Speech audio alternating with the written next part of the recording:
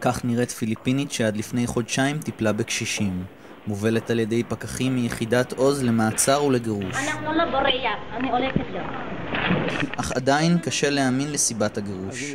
אם הילדה שצועדת יד ביד עם אמא שלה לא הייתה נולדת, המדינה הייתה מותירה למהגרת להמשיך לעבוד בארץ. בואי תקשרי את הילדה.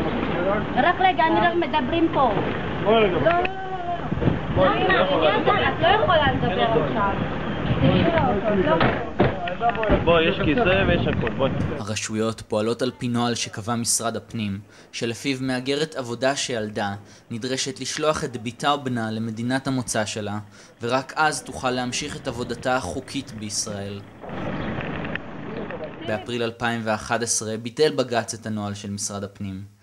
פסק הדין קבע שהנוהל כופה על האישה לבחור בין עבודתה לבין רצונה להיות אם, ושכפייה זו אינה מוסרית ואינה חוקתית. When I become pregnant, my husband and I told ourselves that we are definitely going to send our child to the Philippines in exchange for a working permit. But when I first see and hold my son, I just can't let him go. למרות פסיקת בית המשפט, בחודשים האחרונים משרד הפנים גירש יותר מ-20 אמהות יחד עם ילדיהן. מהגרות העבודה לא נרדמו במשמרתן. יחד עם עמותת ילדים ישראלים וארגוני סיוע נוספים, יצאו ביום הראשון של החופש הגדול, והפגינו נגד הגירושים שמתרחשים ממש מתחת לאף של כולנו. אין ילד לא חוקי, אל תיגשו אותי. במשך 20 השנים האחרונות הייתה מדיניות שברגע שמהגרת מעיזה להיכנס להיריון היא הופכת לא חוקית. ולמרות זאת המדיניות הלא כתובה הייתה שלא מגרשים את הילדים ונותנים להם להישאר כאן. זה לא שאלי, שי וביבי קמו יום אחד וגילו שיש כאן ילדים אלא ביודעין הממשלה אפשרה להם להישאר עם האימהות. If having a children here in Israel is a mistake because I am just a foreign worker, then this is one big mistake that I'm very, very, very proud of and I will never regret for the rest of my life. לפני שהילדים והאימהות מגורשים מהארץ, הם מובלים למתקן המסורבים בשדה התעופה בן גוריון. שם הם מוחזקים במעצר מאחורי סורגים. When I saw the, detention facility in Ben Gurion, it was really heartbreaking. It's so sad and depressing, especially to the fathers like me. Most mothers are so scared to go out. We are afraid to see the OSH unit to come after us and take our children and put behind bars. מגיעות אלינו עדויות מאוד קשות ממתקן הכליאה, כולל שלא נותנים לאבות לבקר. אני בעצמי שלחתי מכתב למפקד של יחידת עוז, האם האבות יכולים לבוא להיפרד מהילדים, והוא ענה לי שכן, כל עוד הם לוקחים בחשבון שכנראה יעצרו גם אותם. לקחו אותם, לא נתנו להם שום זכויות, לא להתקשר לאף אחד, לקחו מהם את הטלפונים הסלולריים שלהם. היו מקרים גם של ילדים חולים, לא זוכים לראות אה, עורך דין גם אם רוצים, לא נציגים מאף ארגון אה, זכויות אדם ומגורשים. בעוד שהמדינה לא לוקחת אחריות על המצוקה האנושית שהיא יצרה בהבאת מהגרות עבודה לישראל, החליט שר הפנים להגדיל את מספר מהגרי העבודה בתחום הבניין, למרות הבטחותיו הקודמות לצמצום מספרם. אם ראש הממשלה ואלי ישי לא מעוניינים בעובדים זרים, הם מוזמנים להפסיק להביא אותם. השיטה הזאת של הדלת המסתובבת ושל הניצול ושל חוברות כוח האדם המושחתות פוגעות בכולנו.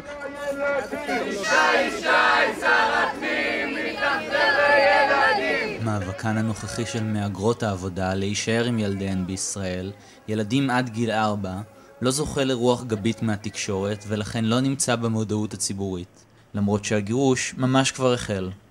לעומת זאת, זכורה לנו התגייסותה של התקשורת כאשר ילדי מהגרים בגילאי בית ספר עמדו בפני גירוש. כתבות מרגשות שהראו את הקשר העמוק ותחושת השייכות של הילדים לישראל, ליוו את מהדורות החדשות ושערי העיתונים. גם זמרים, פוליטיקאים וידוענים הצטרפו למאבק.